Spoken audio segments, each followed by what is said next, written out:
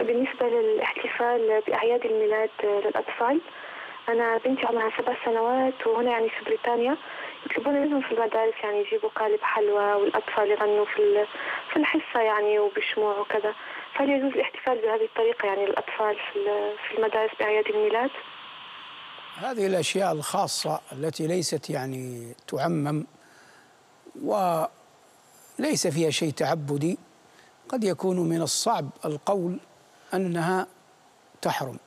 يعني قد يقول قائل لم يفعلها مثلا الصحابة ولا السلف. نعم لم يفعلوها لكن نحن نتكلم الآن عن مسألة دينية وإنما نتكلم عن مسألة دنيوية تتعلق بطريقة للناس في أفراحهم.